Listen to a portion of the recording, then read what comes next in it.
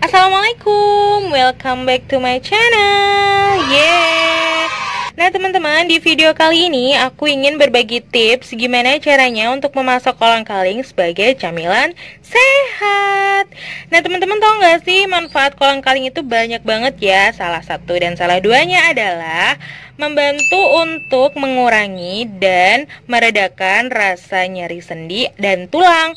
Kemudian bisa membantu untuk mencegah osteoporosis loh. Nah, teman-teman daripada jajan yang gak jelas, mending kita bikin camilan sehat aja yuk. Tuh, banyak banyak manfaatnya dan cantik, menarik kan? Oke, langsung aja simak videonya ya. Semoga video ini bermanfaat. Tonton sampai habis ya. Langsung yuk kita masak. Oke teman-teman, jadi ini adalah bahan-bahan yang aku pakai ya Simple aja, jadi ini ada kolang kaling, ini kolang kalingnya ya Kemudian ini ada pewarna makanan, nanti pakainya dikit aja untuk biar lebih menarik aja. Terus kemudian ini aku pakai gula diet. Ini aku karena sedang diet dan mengurangi gula, jadi aku pakai gula diet ya. Ini bebas mau merek apa aja terserah. Karena aku ada stoknya ini aku pakai yang ini ya. Kemudian sama daun pandan biar harum aromanya lebih segar. Oke langsung mari kita masak untuk menghemat waktu kita nyalain dulu kompornya kita rebus air sampai mendidih ya guys sambil ini mendidih kita langsung cuci bersih kolang kalingnya Oke guys, kemudian kita cuci kolang kalinya sampai bersih ya di air mengalir supaya lendir-lendir dari kolang kalinya ini hilang. Karena kan biasanya kalau kita beli itu kan masih suka berlendir ya. Nah, kita cuci, kita bilas dengan air mengalir. Nah, airnya kan sudah mendidih guys. Masukkan kolang kalinya. Ini untuk yang pertama ya. Kita rebus dulu sekitar 5 sampai 7 menit. Oke guys, sudah 5 menit kita matikan kompornya. Kemudian kita buang dulu air dari rebusan kolang-kaling ini yang pertama ya. Buang air rebusan yang pertama ya guys. Kita saring. Kemudian kita rebus air yang baru lagi. Oke guys, dan ini sudah mendidih. Kemudian masukkan lagi kolang-kalingnya. Nah, kita rebus lagi ya guys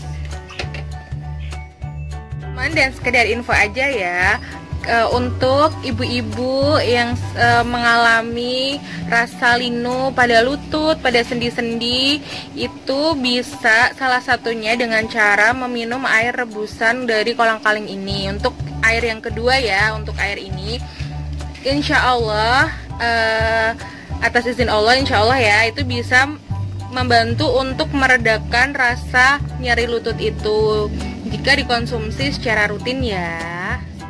Lanjut, kemudian masukkan ini gulanya. Ini aku cukup pakai satu aja ya guys, karena segini aja sih barangnya.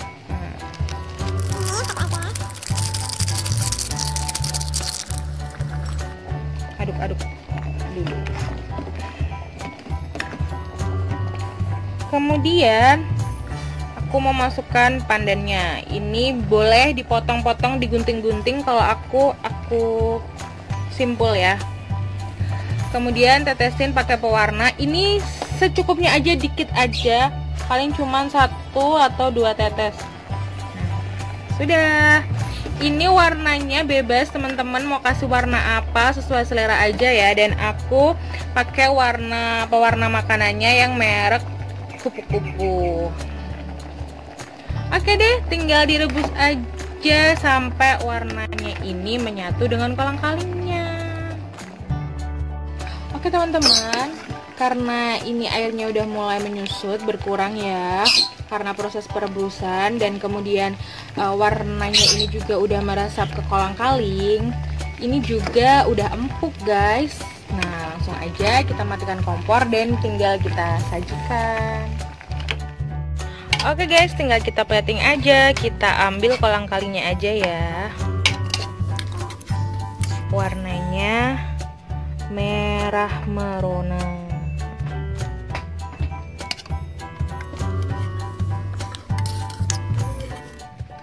Ini camilan yang sehat ya guys. Nggak usah jajan yang aneh-aneh. Udah beli yang sehat-sehat aja. Karena sehat itu mahal. Kita bakal bisa ngerasain sehat itu mahal ketika kita sakit guys.